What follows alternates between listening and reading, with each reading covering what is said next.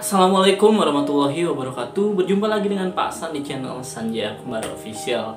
Insya Allah hari ini kita akan membahas salah satu materi parenting Yakni waktu yang tepat untuk menasehati anak kita sebagai orang tua sering kali berhadapan dengan situasi-situasi di mana kita merasa apakah ini waktu yang tepat untuk menasihati anak kita apakah di saat mereka bersalah dan kita akan harus langsung menasihati dan juga apakah ketika suatu kejadian berlangsung kita baik untuk menasihati anak kita di sini Pasan akan membahas satu materi parenting dalam buku Propetik Parenting yang ditulis oleh Dr. Nur Abdullah Hafiz Suwaid.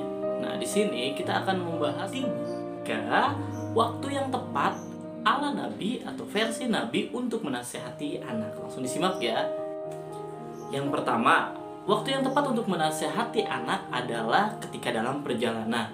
Dalam perjalanan adalah suatu waktu ketika anak-anak terfokus kepada hal-hal yang menyenangkan di luar atau kita bisa mendistrek suatu masalah yang ada di rumah ataupun di tempat lain dengan cara kita mengajak mereka untuk berkeliling mencari sesuatu atau mendapatkan sesuatu di tempat lain. Di sini perjalanan yang dimaksud adalah ketika kita sedang berjalan kaki atau berkendara dengan anak kita dan kita ingin menasihati anak kita terkait dengan satu masalah yang telah terjadi di hari kemarin atau hari sebelumnya dan ataupun waktu-waktu sebelum perjalanan itu berlangsung. Dari itu kita bisa memasukkan nilai-nilai nasihat kepada anak kita karena di saat yang sama anak kita sedang terfokus kepada hal-hal yang menyenangkan dalam atmosfer perjalanan.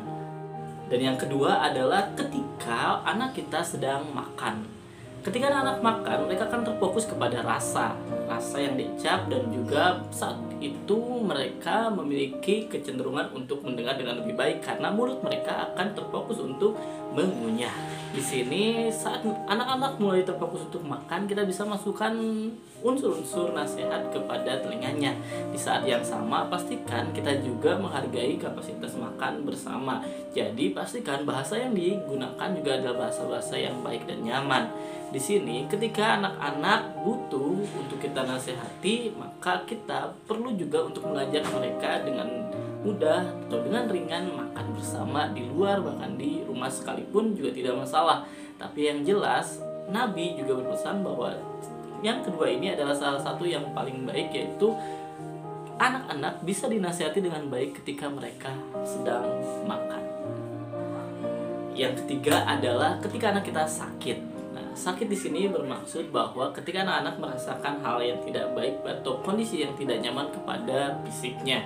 Di sini anak-anak ketika mereka sakit baik terjatuh ataupun sakit demam dan lain-lain mereka akan lebih cenderung menurunkan intensitas penolakan atau pemberontakan terhadap dunia luar. Di sini apa yang kita masukkan ke dalam telinganya, apa yang kita nasihatkan ke dalam telinganya akan menjadi suatu hal yang cenderung lebih mudah untuk ditangkap dan diterima oleh mereka.